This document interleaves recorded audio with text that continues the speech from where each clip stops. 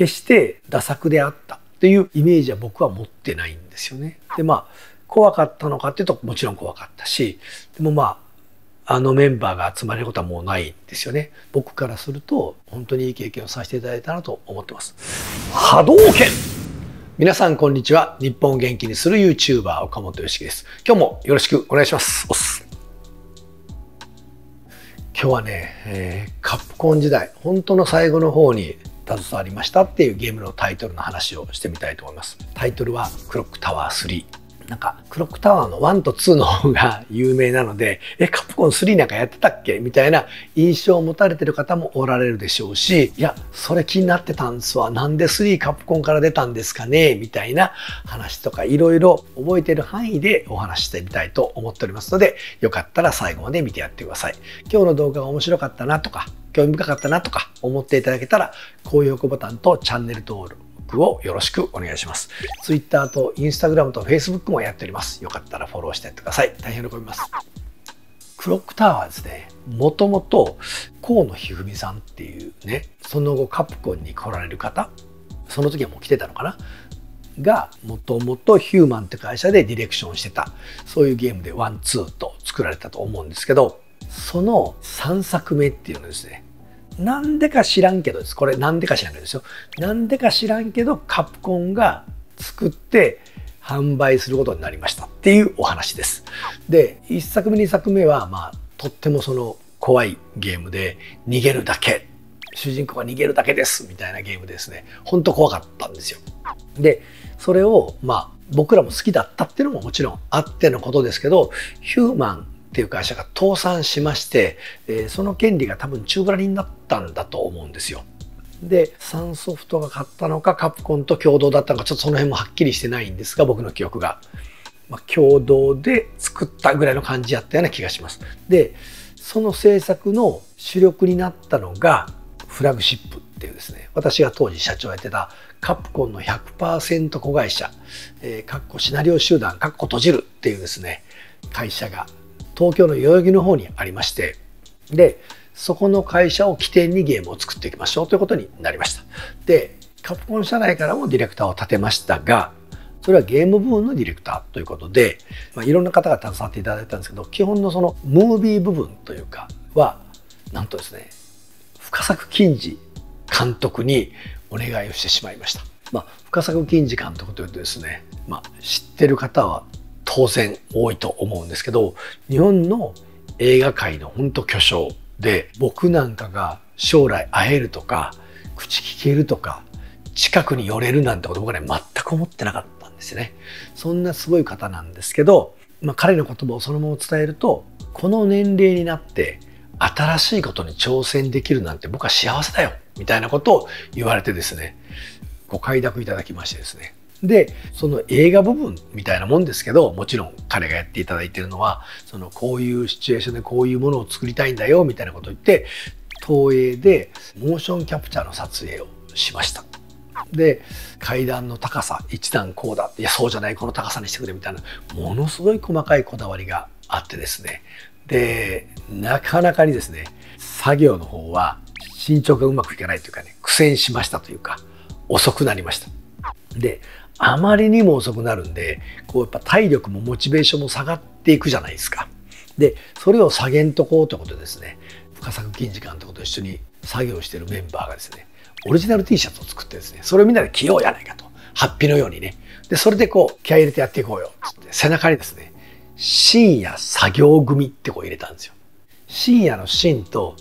作業の差と組を大きくプリントして深夜のやと作業の行はちっちゃく入れたんですよ。で、遠目に深作組って読めて深夜作業組。で、まあ、とっても厳しい仕事だったんですが、お仕事をやり遂げるっていう強い意志を、その、俺たちはもう残業も厭わないっていう、あんまり今の時代いい言葉じゃないのかもしれませんが、その当時はもうパワープレイででもやりきるぞってことでもういただいたデータをですねきれいにこうゴミを取ってでモーションキャプチャーのゴミをですよ取ってで、えー、ムービーを作りましたっていうそんな思い出があります。でシナリオはですね杉村昇さんにお願いをしましてですねこれあのバイオハザード2とか3とかコードベロニカとか、えー、0とかまあ鬼武者とか鬼武者2とかみたいなところのシナリオを全部こう杉村さんがほとんど書いてくれてはるんで、まあ、ゼルダもそうですね。いろんなところを書いてくれてるんですけど本当にもう天才脚本家だと僕は思っててゲーム好きの脚本家ってこんなに使えるんだみたいな、まあ、僕の中ではもう二度と会えないぐらいのレベル。まあ二度と会えないんでしょうね。僕の年齢もだいぶいってしまったんでとんでもないできるおじさんだったですね。その人に脚本をお願いしてでキャラクターのデザインは、まあ、クリチャーとかね雨宮啓太さんにお願いして。みたいなのですね。結構そうそうたるメンバーで、えー、制作をさせていただきました。多分皆さんの記憶にあるのはあんまり売れてなかった印象だと思うんですけど、まあ、僕も、えー、カプコン在籍の本当最後の方の年だったのでいろいろとこういろんな作業が重なってバタバタしてた中の一つではあるんですけど僕の中では、えー、まあ難易度は高いけど結構楽しめるゲームだったみたいな印象の方が強くて決してダ作であったっていうイメージは僕は持ってないんですよね。でまあ怖かったのかっていうともちろん怖かったし主人公の女の子を操作するのもまあ簡単ではなかったし